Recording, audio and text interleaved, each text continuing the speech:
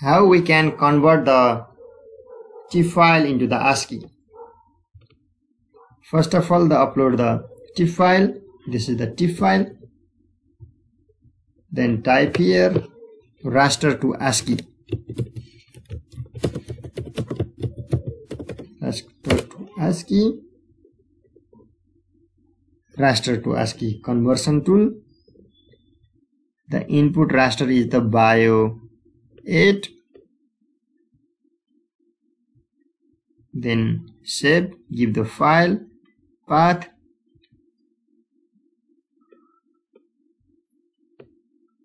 and click the second one here. No it is the this is the bio. 8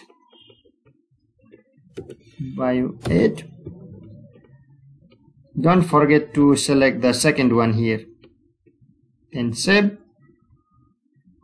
And click ok.